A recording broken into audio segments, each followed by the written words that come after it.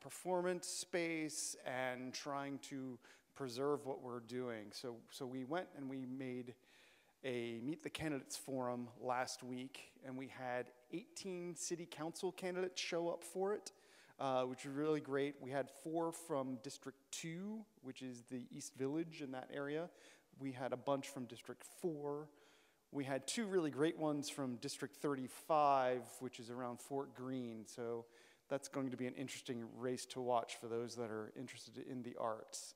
So we're going to make our endorsements around April the 20th, and, and you can follow all about this on our website, litny.org. So uh, I'd like to just open it up while I have a minute or two left uh, for any questions anybody has about what we're doing.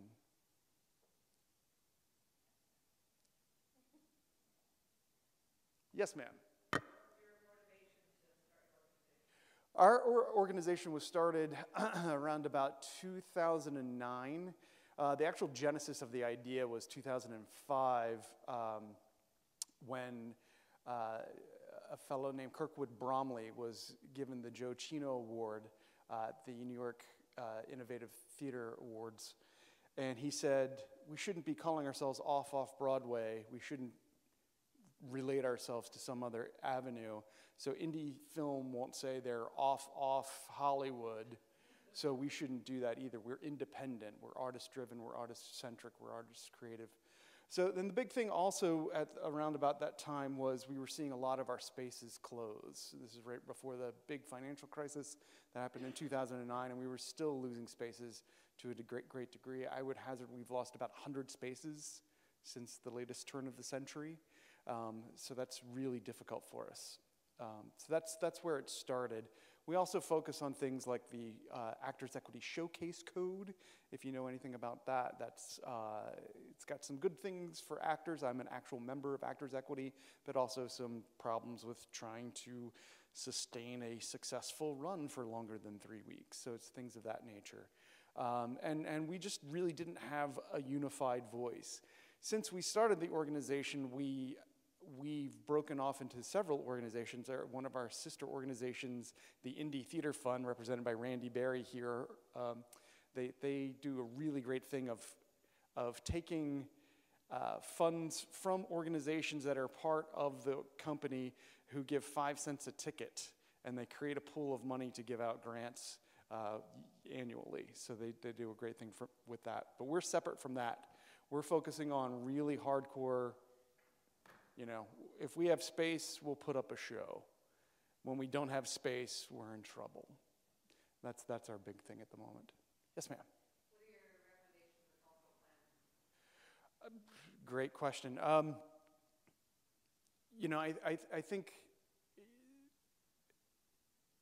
there, there's, there's, I think from, uh, from our point of view, there's a lot of things that get looked at as far as what's happening with, with organizations that have budgets of 250,000 and above. And most of our organizations are, are with groups that have less than that, much less than that. And I think that we also are dealing with organizations that, for the most part, we, uh, most of our companies last two to maybe three years because of all the pressures that are happening. So it's just really hard for us to, to have any kind of traction and have a unified voice in what's happening, we, it would be great to open up the cultural institutions groups and to, and to have more funding for us as well. So you recommend more funding for groups Yeah, absolutely. Yeah. Both. yeah. Anybody else? Great. Thank you very much.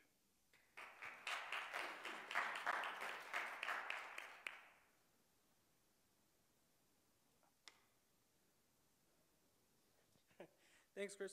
Uh, next up, David Scheingold from ArtsPool. Did I get that right? Yeah. Thank you.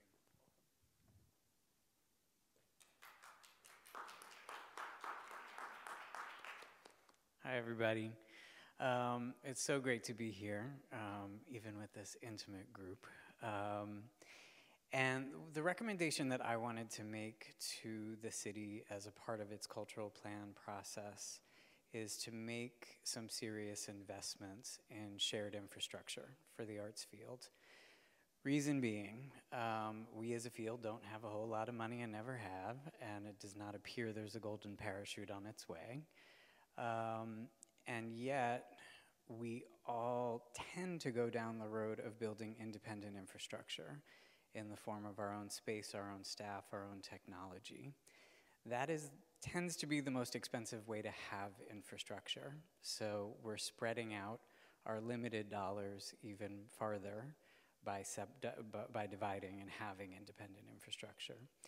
So the opportunity in shared infrastructure is not just to save money, but to save, save time invested in maintaining that infrastructure and to create the opportunity to reinvest those savings in the mission-driven work that brought us all to this field and is the basis of the impact that we have on society. So to give the example of ArtsPool in terms of how we do this work, um, we were originally incubated by the Alliance of Resident Theaters New York.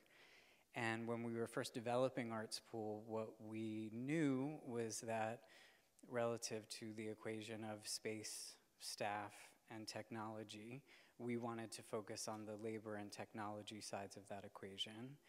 Um, and we also knew that in terms of the administrative work that we wanted to create a shared infrastructure around, we needed to find aspects of that work that we do in approximately the same way from organization to organization, and that involve a lot of redundant transactional work, because that's the basic profile of work that you can gain efficiencies on and over time achieve economies of scale through.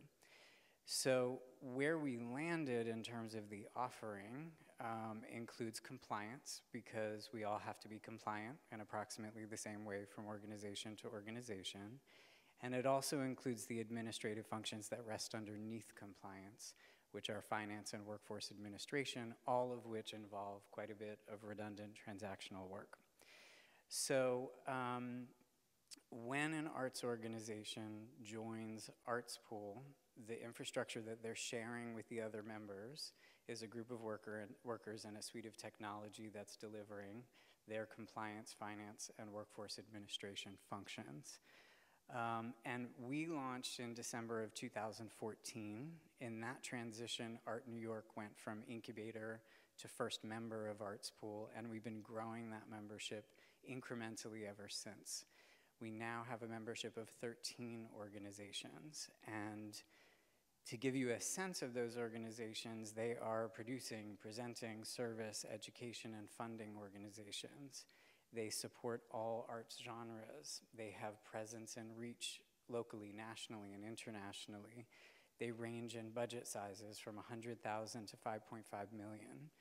And the reason I point that out is because it's so often the case that we stay in silos as a field in, in relationship to the organizations and the artists that are most similar to us. But we as a field need the same basic infrastructure and we use it in the same basic ways. And so shared infrastructure also creates the opportunity to collaborate across those silos that we typically isolate ourselves in. Um, so I have two minutes. I did that fast. Um, anyway, so that's, that's the basics here. Obviously, you know, we are one version of this. There are other versions of this, some that are addressing space, some that are addressing other kinds of infrastructure and sharing opportunities. We would encourage the city to invest widely um, in these efforts. And with one minute left, if anybody has a quick question, I'm happy to answer it. Okay.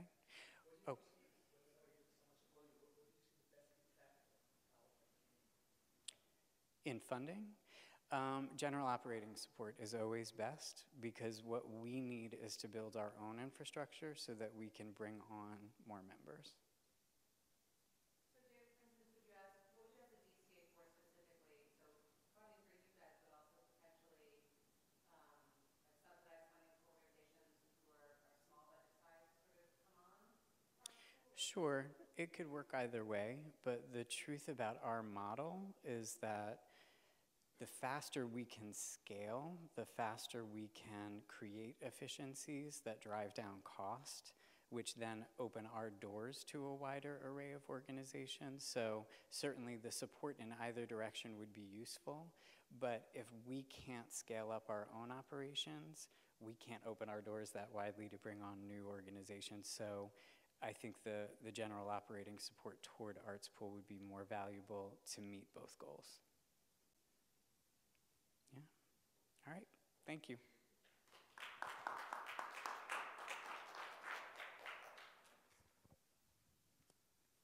Thanks, David. Uh, let's see, next up we have Wiley Hausam.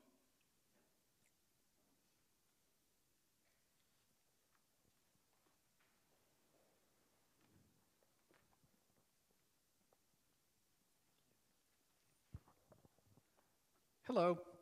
Um, I wasn't here this morning, so um, I may say something that is irrelevant or you've bypassed it. Uh, my name's Wiley Hausam. I'm um, kind of a career long arts worker uh, in many, well, in several different disciplines and in different roles. First part of my career, I was an artist representative working in the theater. Um, second part, I was a theater producer working at the Public Theater under George C. Wolfe, and during that time we opened Joe's Pub. Third chapter is as a university arts administrator, um, and I opened the Skirball Center at NYU in 2003, I guess it was. Um, so this idea is just in the interest of um, of spreading, spreading resources and covering more New Yorkers and serving more New Yorkers. And it's sort of borrowed from um, a system that I don't know that much about, but uh, have heard about in Sao Paulo, Brazil. And essentially, what it is, is just a, a network of small, locally, deeply embedded art centers that serve artists in that locality, that neighborhood. Um, and um, would be funded by a combination of the DCA and city council members responsible for that neighborhood in the city. Um, and it sort of stems from the thought that, you know, we, we have this definition, a long-standing definition of what is valuable arts and culture in New York City, and it tends to be the large cultural organizations and the traditional disciplines. And a lot of those organizations are becoming unsustainable, financially unsustainable. I mean, we're talking about the New York Philharmonic, the Metropolitan Opera, um, the Metropolitan Museum. They're all showing great signs of financial difficulty in the future. And, and the current arts uh, construction or ecosystem really serves a very small portion of, the New, of New York City. And so the idea would be to try to serve, you know, ideally 100% of, of folks through very close to the ground, inexpensive uh, support systems. And that's really my idea. Uh, I'll answer questions, although I don't know, know that I uh, have any answers. Hi. Um, just to say a little bit about the Sao Paulo model, it's run by SESC, it's called, and it's an interesting model. The um, I think in the 60s, the kind of left-wing government came up with that great idea that every company in Sao Paulo has to pay 1.5% or 1% of their profits into a pool.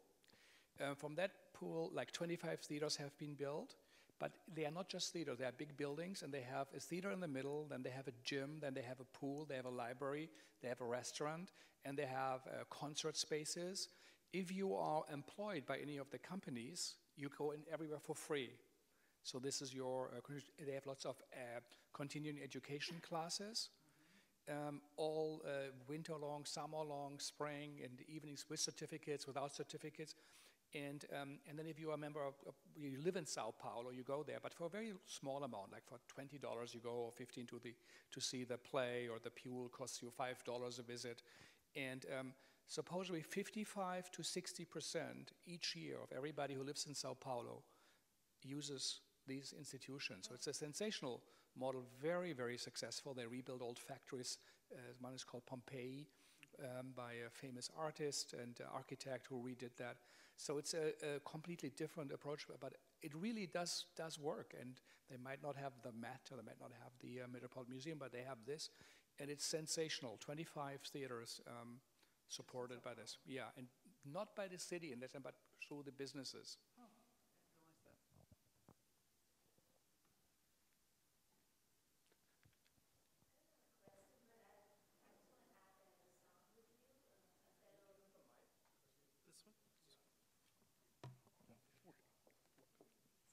Question, but um, I respond with you. I'm also,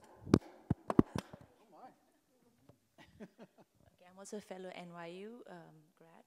Um, but um, even recently, uh, I mean, I've been attending a lot of these events, and I keep thinking everybody talks about a cultural plan for the Lower East Side, and I, I know there are areas which need money and culture, um, cultural centers. But I also think about the well-developed parts of New York City, which is like areas close to Lincoln Center and um, you know Philharmonic, because there are still communities there which don't have the real cultural experience. And so this idea of having this small cultural space, you know, where even, I mean, the people there may be rich, but they started off poor. They came, as, you know, they're living this middle class society, and being rich can also be very alienating. And uh, I mean, so having these cultural centers and having a provision for that um, is something, yeah. When you were talking about that point, I was like, yeah, okay, someone is thinking like me. Well, it, it would increase, um, you know, in-person connectivity by neighborhoods.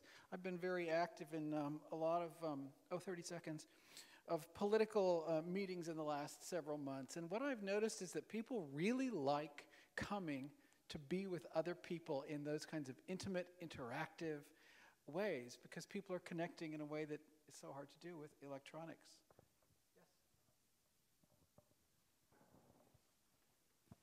Hi, you know, there are a lot of community art centers in New York and all the different boroughs, but I just think that we, even us in the arts, don't even know about them. Like Queens Library, for example, is that place you're talking about. It's a library, it's a community center.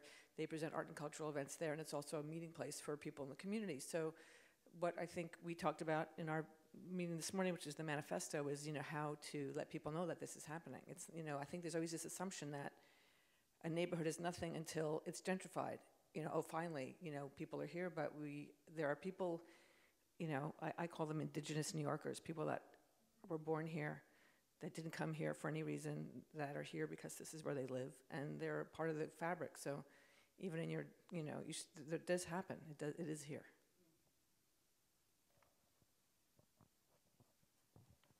It, it well, actually, could I have uh, Patrick Grant, is that? Uh, Tilted Axes? Yeah? I'll give this one to We can switch off there. Thanks. Being that I come from a distance sound, you should not have the mic too far away from the stand because you're going to find yourself in that situation. and I myself uh, wouldn't mind. Oh, I see the cross.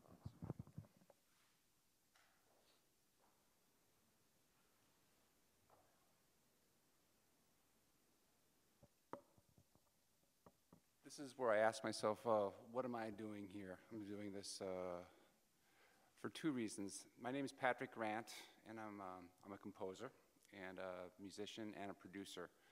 My background has been primarily in theater, um, even though I have created music with diverse artists like John Cage, Billy Joel, Philip Glass, Quincy Jones.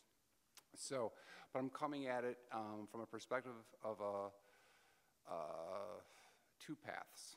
One is I want to um, rehabilitate myself to the community and say hello, everybody. I uh, want to make myself more active in my own um, city's art community. And secondly, to quickly tell you about a project I've been doing for the last five years, sort of off the grid, that has had some good results that maybe you could um, use these examples um, as metaphors or direct application if they're helpful in any way. So this, uh, what I'm speaking for is I'm speaking for music, and music is a art that doesn't necessarily need words, so it has to be given a voice. But what I have found is that where there is music, there is hope. And what I have done is I've created a project called Tilted Axes Music for Mobile Electric Guitars, and I created this for Make Music New York five years ago. And the idea was I was going to combine my history of theatricality, rock musicianship and um, a sense of community and create a project where it sort of was my revenge. Yeah, we would always put on shows and hope that people would come and see us. Well, let's put together something where we can go where there's already thousands of people. And so that's been um, a great experience. It's uh, found resonance not only in this city, uh, but other cities in this country, as well as uh, in Europe and South America. So I'm very familiar with the SESC um, system, and they're fantastic, even though they lost 37% of their funding um, this last year. But how do I fund this thing? So one of the things I, uh, working off the grid is I want to I want to encourage the DCA to find alternative methods to find corporate funding. What I was doing was, um, since we use musical equipment like Vox amps or strings by Fender, I would um, go to companies, and this could be maybe not a music company, but whatever you're interested in, find out what they're already spending money on, and then tell them how you can you know, get the same result um, for whatever they're spending, maybe cheaper. So for instance, I knew that the Vox was taking out you know, maybe 40, um, spending money on ads to reach like 40, 50,000 people in certain uh, miracle, um, in certain musical periodicals. So I said, well, if we do a performance in Union Square or some other big city, I can reach that same amount of people, showing people your logo. So automatically, that action became monetized. So I was able to start approach people like, so there was a value to all these things we were doing. So it's, in a nutshell, with two minutes left, these are the kinds of approaches and the kind of initiative I'd encourage. I mean, I know a lot of corporations are offering um, um, money for the arts, but my advice is to take the initiative to call up their, um, their development people.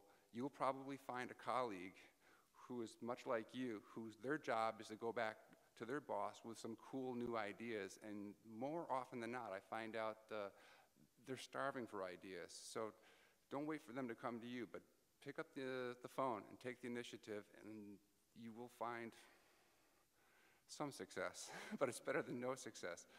But I, um, that's what I have. And I also, because I don't have, um, I'll leave, uh, I'll let the music speak for itself. I bought a bunch of CDs I'll leave out there if you want to. And um, that will explain the project more deeply. But I guess with one minute, is there any burning question or anything I can clarify?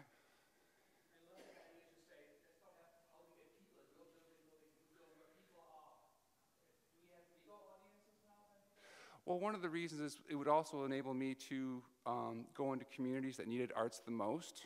And that's one of the things we like doing. We, go, we like going into what we call war zones. We've done a lot of work in Detroit, and we've done a lot of work in Sao Paulo and other um, neighborhoods of uh, Dusseldorf, which is mostly nice. But there are, if you go far enough away, you'll find areas that aren't getting the support they need.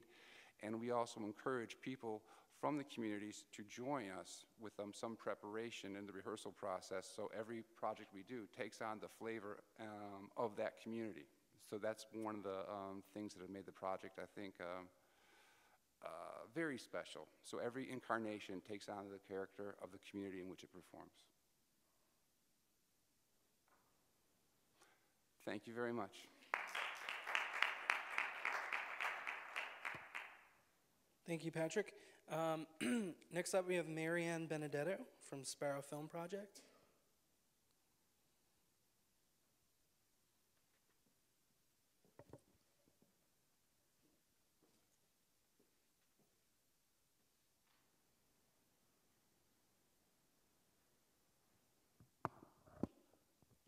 Hi, so I'm, I'm with the Sparrow Film Project, which is a local filmmaking uh, me. I'm clearly one of the first speakers not from the theater community, so excuse me. Um, we're a local filmmaking competition. We started in the spring of 2009 and have since run 13 major events and additional smaller ones. Uh, our basic premise uh, has remained the same throughout. We give uh, a challenge each year that's based on a theme, and filmmakers who uh, sign up in advance are uh, given their specific assignments, which they must complete in a three minute film uh, that is due three weeks after the assignment is given out. Uh, we have always stri uh, striven to give something in, is an inclusive opportunity to our community. Um, we are from Astoria, which was one of the earliest homes of filmmaking after it moved out of Edison, New Jersey, uh, at, where it was just a technological achievement. Um, films were made here in New York. Um, television is made here in New York now. There are over 50 films that are, uh, 50 shows that are shooting every year. Um, but we want people to think of filmmaking and television and all of these, these creative opportunities as not just something that you see a no parking sign and then there's a grip truck on, in front of your deli and you know it's just a nuisance. Um, we want people to be able to just get in there and experience what it's like to make a film, um, what it's like to meet other people who will help you um, realize this, uh, um, this dream that you have. And our co- competitors have been amateurs, they've been people who are, um, are involved in, in filmmaking professionally. Um, we have had people who, uh, who are young. Our most recent Best Actress winner was eight years old at the time of filming. Our, our most recent um, Best Actor was in his uh, 70s. Um, we've had people who are hearing impaired, who are vision impaired. Uh, I myself am a, am a queer woman, and we have had people from the LGBT community. One of our, our best film winners um, made a film specifically about violence against uh, gay men. And we, so what we do is we do this uh, competition every year, and we're also trying to expand because not only are we trying to say that we have an opportunity for anybody to come out and make a film, but we want to give people resources um, in doing so. I work in uh, post production primarily. I'm a colorist uh, for a show you may have heard of called Sesame Street, um, alongside my partner, who is also a cinematographer.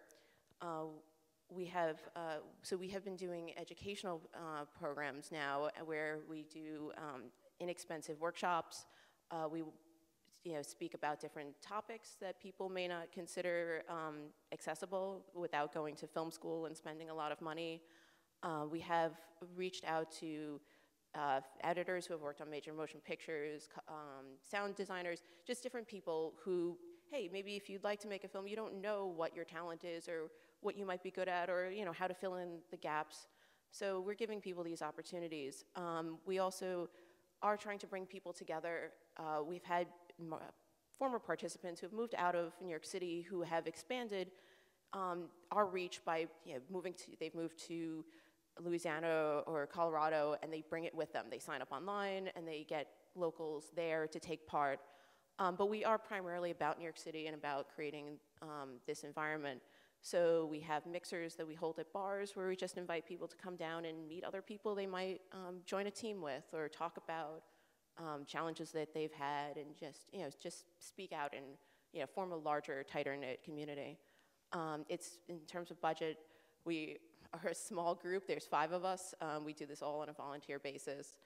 And it's, you know, it's a challenge, but we've been lucky that we've had um, help from Kaufman, and uh, studios and also the Museum of the Moving Image, uh, who, who, who have given us the space to show every film that we make over the course of two days, and then we host a gala celebration and award ceremony um, in their beautiful facility. Um, but otherwise, yeah, it's the, our challenge is, is figuring out funding and resources. Any questions? Sorry, there's a lot to get through. Yes. Um, since I don't know much about the film, um, at least the landscape or geography of mm-hmm. navigating resources and funding in New York. Um, w- do you have any concrete um, suggestions you would make to the Department of Cultural Affairs on how they can, um, I, I, guess, improve the, the geography? I mean, it, it, would be very helpful for a non biased source of support. Um, we've spoken, we reach out to um, potential corporate sponsors, um, but there's always the fear, especially since we have this um, sort of background where it started out of a bar. Um, that's what Sparrow is.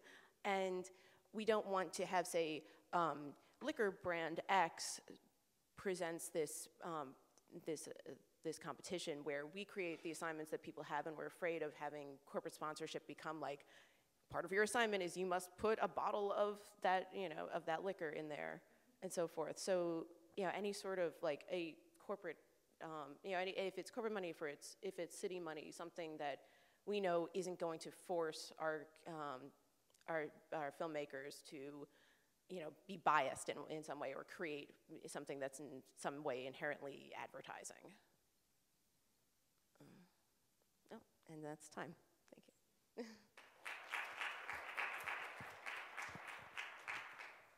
Thank you, Marianne. Um, so let's see, we had five people on this list. I know some um, other people have joined us since then.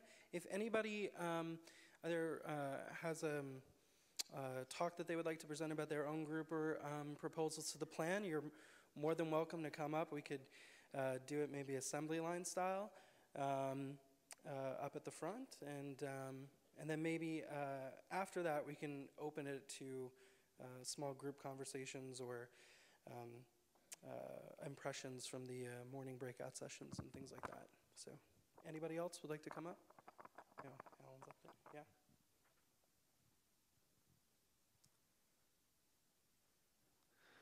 Uh, hi, everyone. I'm, uh, I'm Alec Duffy. I'm the co-director of the Art Center Jack, which is in Clinton Hill. We started about five years ago. I'm going to use the podium. I'm going to get really formal here just because I have some notes on my computer.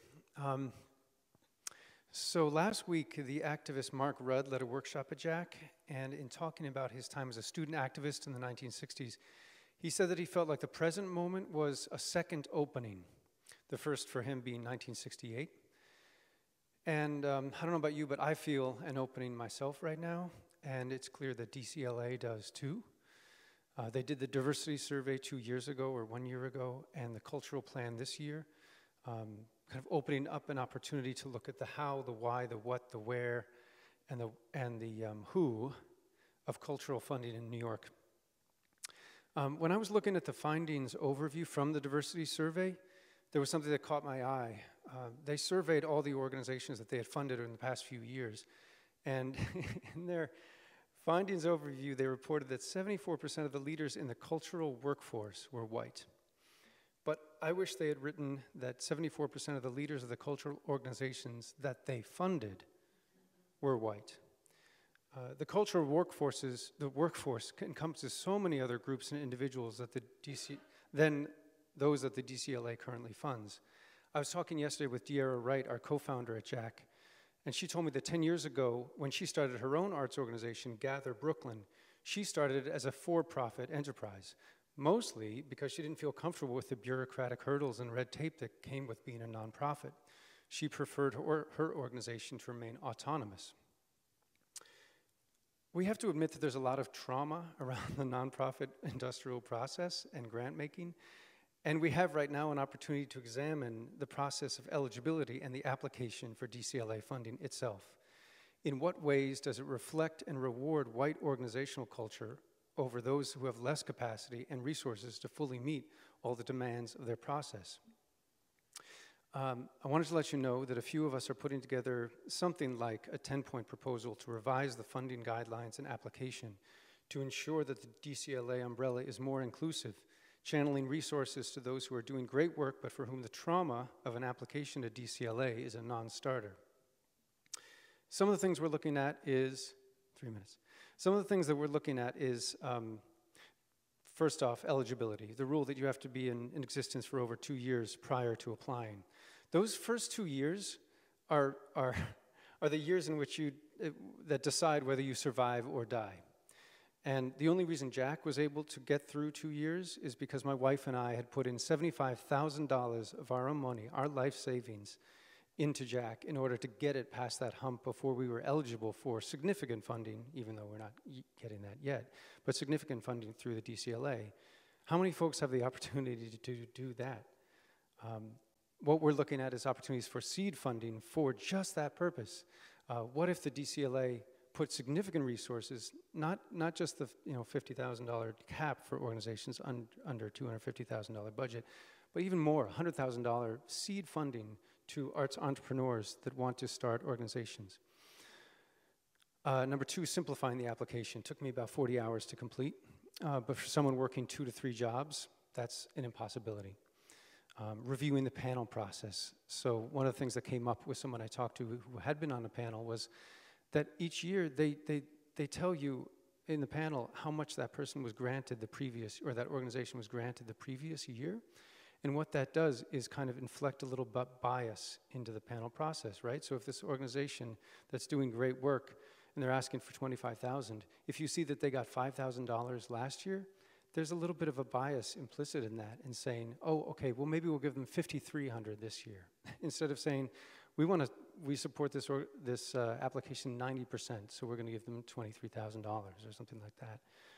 Um, and then awarding, awarding the money, looking at multi-year funding. NYSCA does it, why can't the DCLA? Um, if you're interested in being a part of this small group drafting this proposal, please let me know in person, or uh, you can email me at aduffy at jackny.org. But also, there may be other people already working on this, and I would love to hear about those, those folks. So um, that's it. Thank you so much. Oh, yeah, open. Question. Sorry. Question. Yeah, just wondering um, about uh, Arts Council versus DCLA funding, because I tend to advocate for increased funding for the Arts Council as a way to trickle into, it, because also DCLA has a requirement around, um, I forget what it is, state appropriation or some level of appropriation. So what do you, what do you think about um, increased funding to the Arts Council as a, as a way to bypass some of the L of DCLA? Yeah, that's cool. I mean, what the we got, we did get money from Brooklyn Arts Council our first year. Uh, the maximum amount we could get was five thousand dollars. We got twenty five hundred dollars, which was a third of our rent for a month. Um, so it didn't go very far. But if if there was a significant increase in the Arts Council ab- ability to fund, I'd be all for that. Right. Mm-hmm. One of the things that I've been considering putting forward to the culture plan is to really assess the arts councils in general, because they are so different from borough to borough. Obviously, that's takes that equity as well, so which boroughs have more access, but also can there be a common application, and is there even a way to simplify it even further, and definitely up the money, but I feel like this, uh, the field,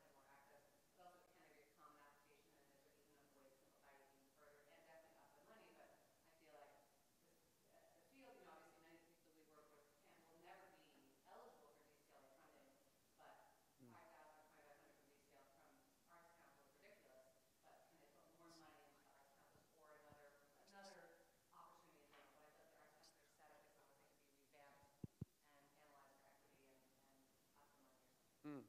Cool.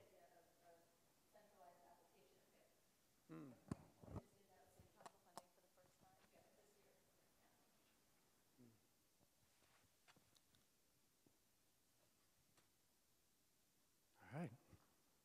Thanks, everyone.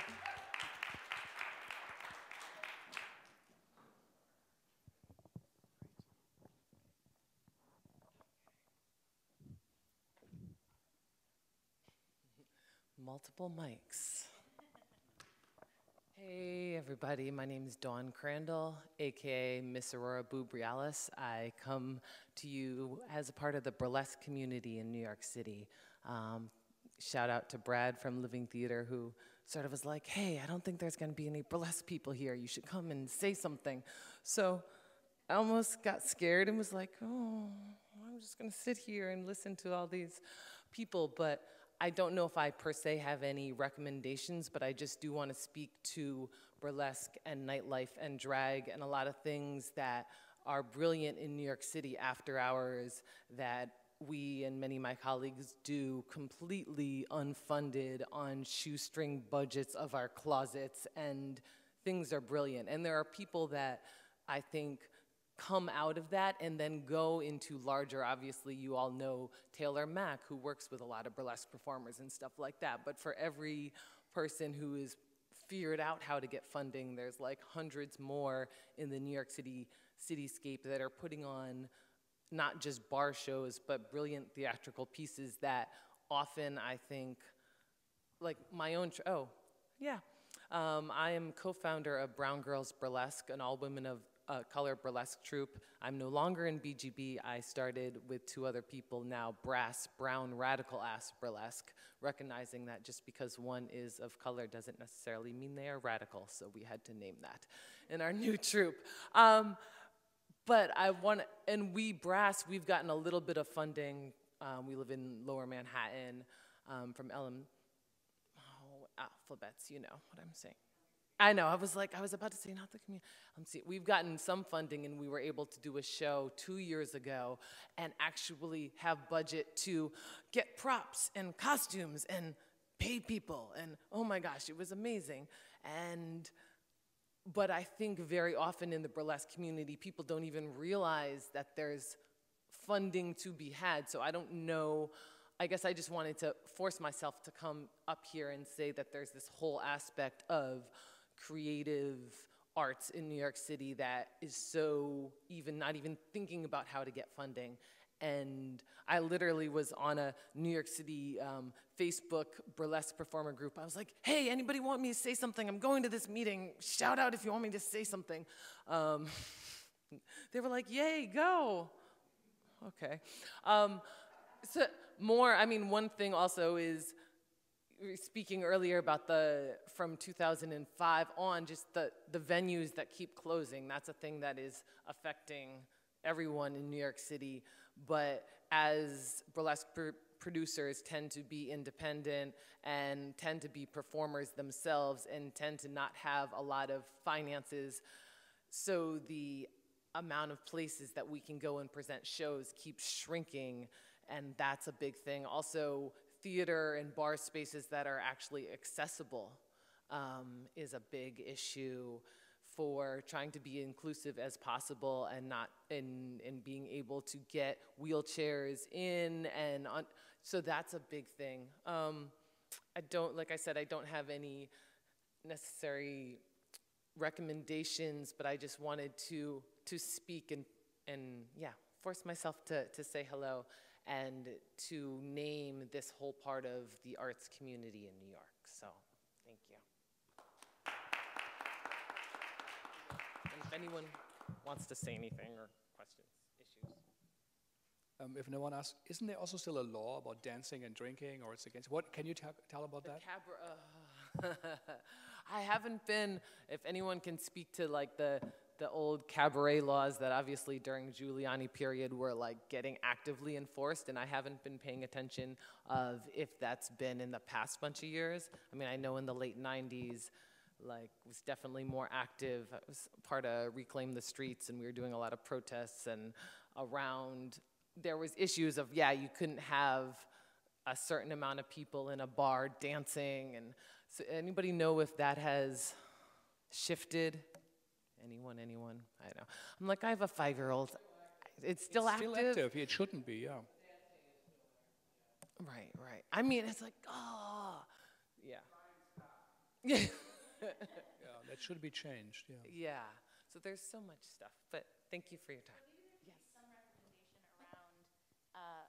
some recommendation around some recommendation um, getting resources or information about resources that the city provides to different uh, art fields, right? So it's not just that we're reaching out to uh, theater, dance, music, and visual arts venues, but that there's some sort of outreach about resources in the nightlife community, in puppetry, in the you know in pl- uh, people that maybe are working in these smaller venues that somebody else was speaking Yeah. about. Yeah. And I think there's also something about like, you know, because burlesque goes into adult entertainment and there's this sexy atmosphere and, and things. So I think that also still can in some ways be a stigma like, oh, that's not serious art. You're getting half naked or whatever. Um, so, yes. yes. Well, I know. content, they're not Uh, supposed to judge exactly. content either. So. So, okay.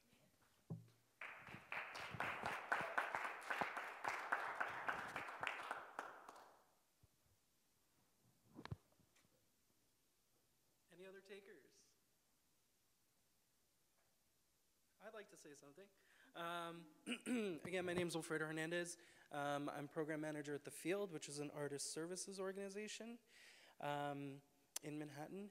Um, uh, I'd like to speak uh, specifically about students uh, today. Um, I know, since we're at CUNY also, um, I have a passion for arts education, but also thinking about the role this cultural plan can have in educating. Oh, sure. In educating um, future artists, right? Artists who are kind of being put through the either, uh, however you like to think about it, BFA, MFA, Mill. Um, uh, and, and we did have a breakfast about this last, uh, earlier this month. Um, uh, thinking through um, how we're preparing um, students in, in the city of New York to navigate this sector.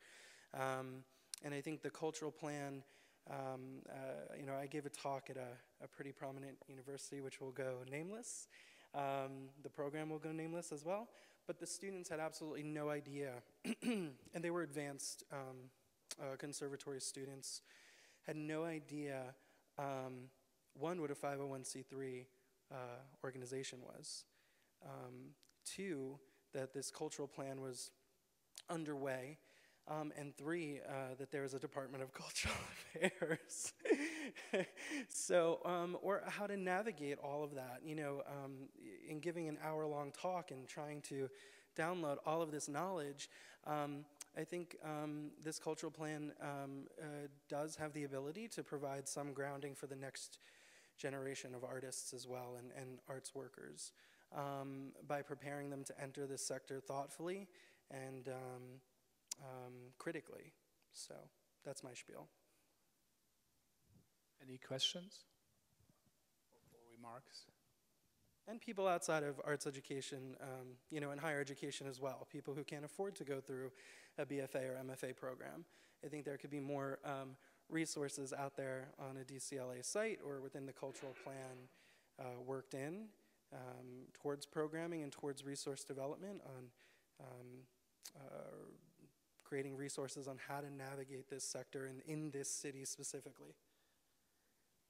I guess my question is, uh, sorry, is uh, like, yeah, specific recommendations, because I think one of the things I hear the DCLA saying is we, we give away money or we give money.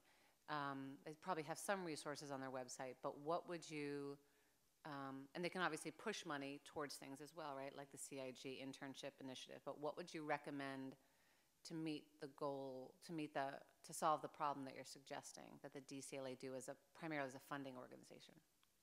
I think more public presence, maybe, more public events, um, so we know who our, our cultural representatives are, and um, you know that that younger artists know, you know who they are, who to tap into, you know who to call, who to vote for, things like that. Um, I think that's one way, but that's a good point about funding. Um, but uh, I would say students, you know, coming straight out of school um, wouldn't necessarily know even how to go about getting money, public monies, or, you know, if you don't know what a 501c3 is, you're kind of working at a deficit already. So that's just my point of view.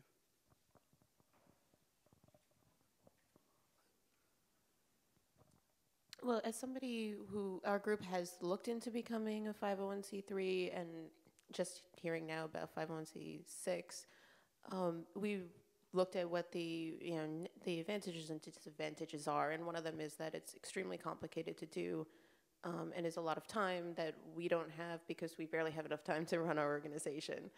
Um, are there opportunities for people who aren't in uh, the nonprofit world, like? you know, how do people in that situation discover, you know, what are their best opportunities are? Is that something that um, has been addressed at all? I'm sorry, I wasn't here this morning, so I missed that part. Um, and I can do a shameless plug for our organization. the field is actually um, a fiscal sponsor, um, one of the oldest uh, organizations offering fiscal sponsorship in the city.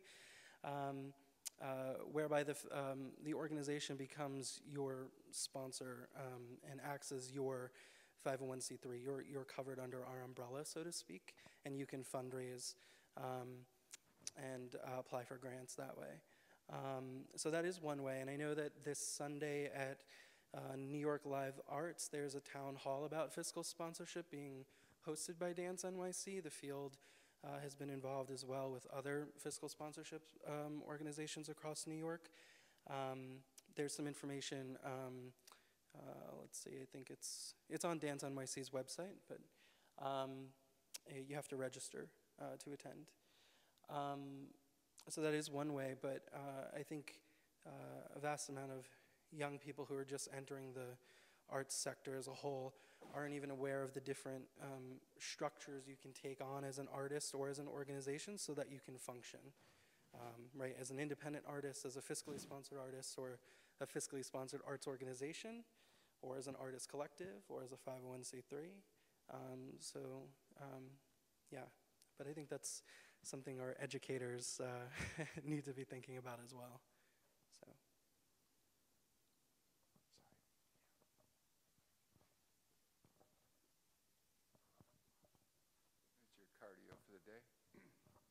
Yeah, I just wanted to speak to that. I'll be there Sunday night as well, and I uh, have fiscal sponsorship through one of your colleagues. Um, But um, as a bit of crosstalk with the previous question, just wanted to say, um, that's what my organization did, figuring that it was a way of getting our non-for-profit toes wet without incurring a lot of the legal fees and, and especially a lot of the time that are consumed.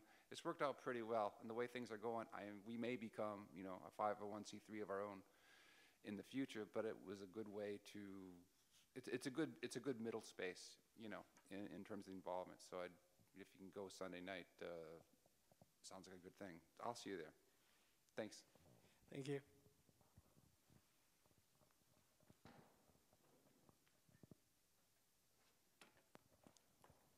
Hi, I'm an artist and an art educator. Um, I know we've been talking about funding, and funding is always going to be an issue.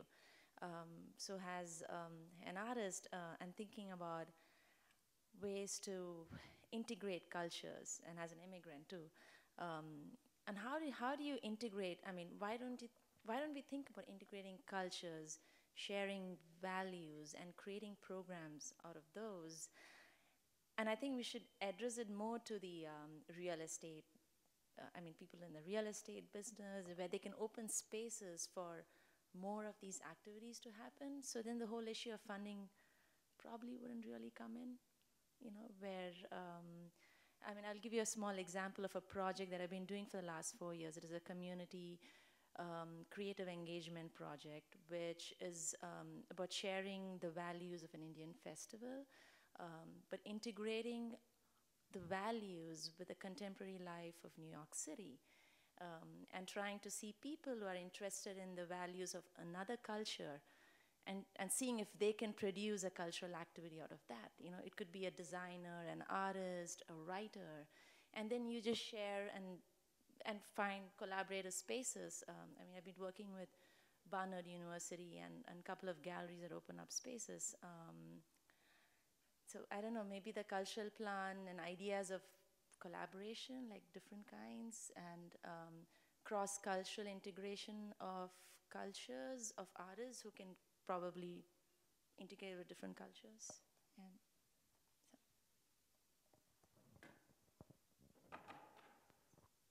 Can you answer? Oh, I mean, um, I think it sounds great. um, you know, I, I think I've, I've, I've been at a couple meetings where um, maybe speaking to that issue um, is uh, putting together some kind of, and I think Brad, maybe we've talked about this at, at some of our own stuff, is putting together some kind of um, online resource where um, either the city would create this database of public spaces that are available for or vacant, you know, for X amount of time and available for use um, on a first come, first served basis or permit basis or something like that. So, like a centralized hub. Uh, yeah. Um, so that that kind of addresses the space issue a little bit. Um, but yeah. Thanks. Any, anybody else? I, I, I noticed some other people have, have ducked in. Um, you're free to come up and share your views about the work that you or your organization are doing or um, specific points that you would like to um, address publicly about the plan or make recommendations about the cultural plan to um, the Department of Cultural Affairs. This is being live streamed. If anybody else, or if you'd like to speak to any of the points you've heard today.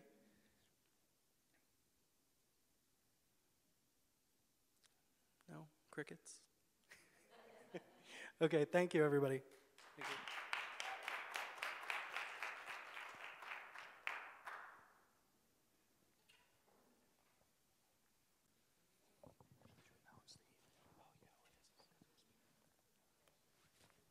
And that concludes the afternoon portion, but there is an evening portion, the sharing of manifestos, cultural manifestos, which is such a cool word.